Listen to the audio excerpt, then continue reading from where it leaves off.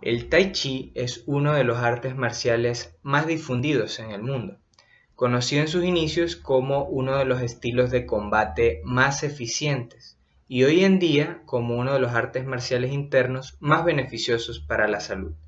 Normalmente dentro de las distintas escuelas de artes marciales existen estilos o linajes que si bien en términos generales vienen siendo lo mismo, hay detalles técnicos, enfoques, tácticas y entrenamientos específicos que vuelven distinto a un estilo de otro.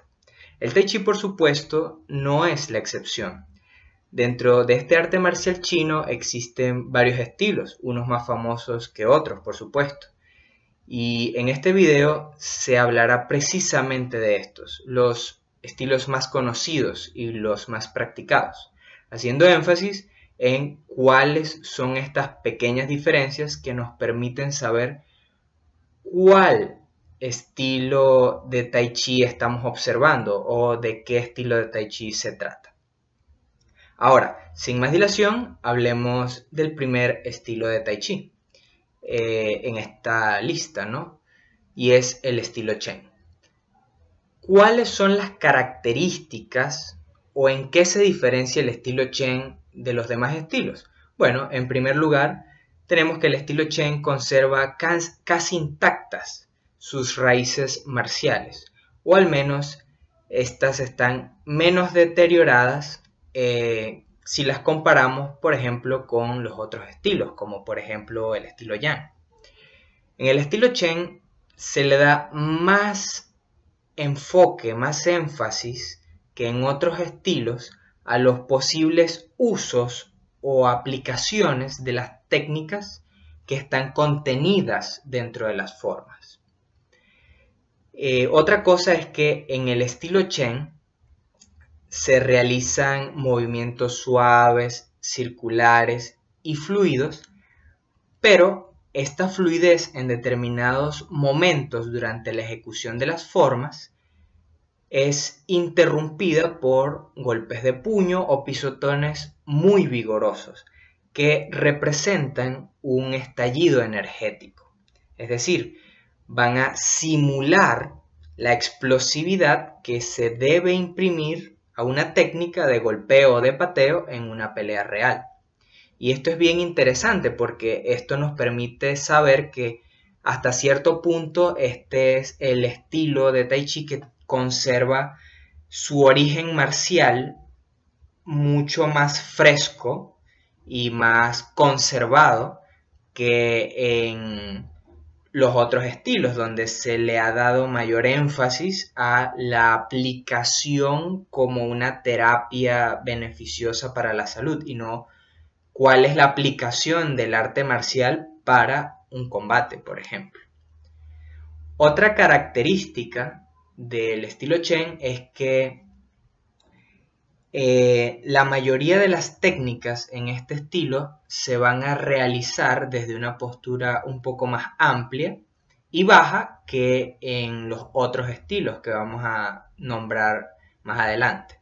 Sin embargo, esto es un poco subjetivo, eh, ya que hay incluso algunos practicantes del estilo Chen que pues asumen posturas muy parecidas a la del estilo Yang y pues es bastante comprensible porque el estilo Chen tiene una gran importancia en lo que es la creación del estilo Yang, entonces bueno, están en íntima relación. Sin embargo, en términos generales, la postura en las formas del estilo Chen son más amplias y pues más bajas. Ahora, nos toca hablar de lo que sería el Tai Chi de Wudang. ¿Cuáles son las características de este estilo o en qué se diferencia el Tai Chi de Wudang de los otros estilos? Bueno, en primer lugar, el Tai Chi de Wudang eh, vamos a observar que se le da muchísimo énfasis a la realización de movimientos suaves y muy fluidos y en muy raras ocasiones o en ninguna ocasión durante la ejecución de sus formas vamos a observar que la fluidez de sus movimientos eh, pues se interrumpa por un golpe de puño o un pisotón con explosividad energética, algo que por ejemplo se ve con mucha frecuencia en el eh, tai chi estilo Chen.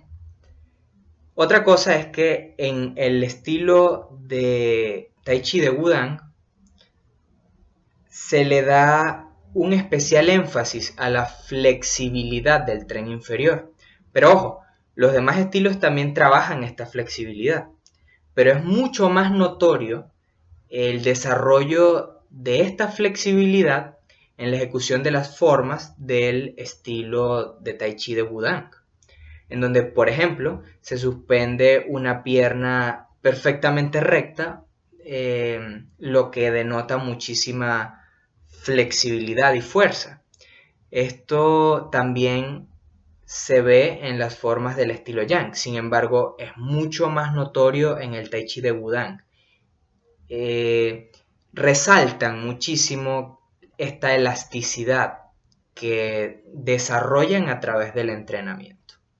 Por último, el estilo de Tai Chi de Wudang eh, se caracteriza porque las formas se realizan tanto desde posturas bajas como desde posturas altas. Y aquí observamos que hay como una especie de alternancia entre posturas, a fin de resaltar que hay control, estabilidad y un dominio absoluto de la fluidez. Por último, nos toca hablar del estilo Yang. ¿Cuáles son las características y en qué se diferencia el estilo Yang de los demás estilos? En primer lugar, el estilo Yang es uno de los que más cambios a lo largo de la historia ha sufrido. Comenzó siendo un estilo de combate muy eficiente, desarrollado por Yang Luchang, y esto fue a partir del estilo Chen.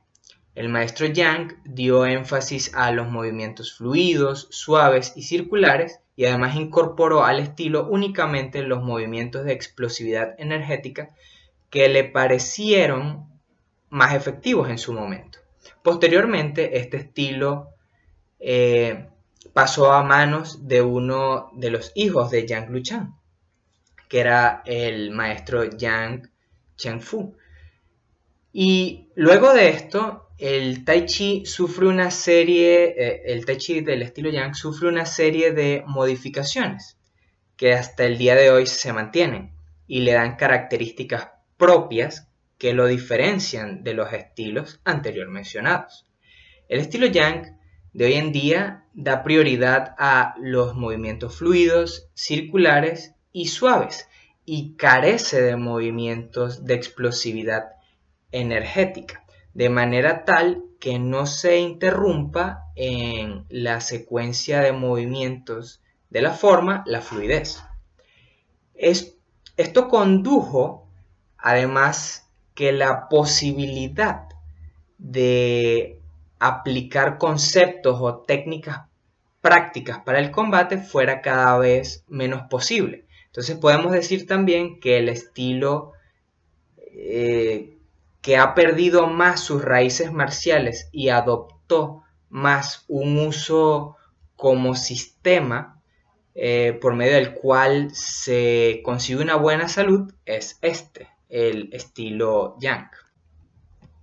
El estilo Yang se hace en el estilo Yang se hace también un importante énfasis en lo que respecta a la flexibilidad del tren inferior.